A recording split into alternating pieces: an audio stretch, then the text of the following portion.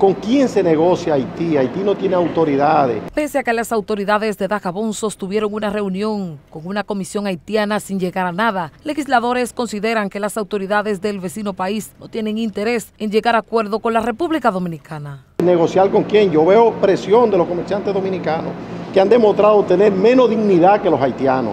El pueblo haitiano en esta fase ha demostrado tener más dignidad que el pueblo dominicano, porque son los comerciantes dominicanos los que andan mendigando unos supuestos acuerdos que no se sabe con quién se harían. Nosotros tenemos nuestro reglamento, no es como ellos quieran, sino como mande la ley migratoria dominicana. Sobre el tema también habló el senador por el Partido Revolucionario Moderno, Iván Silva. Nosotros necesitamos una respuesta con respecto a esta situación de este ciudadano que tiene inversiones multimillonarias en República Dominicana, que produce miles de millones de pesos en República Dominicana para financiar terrorismo en Haití.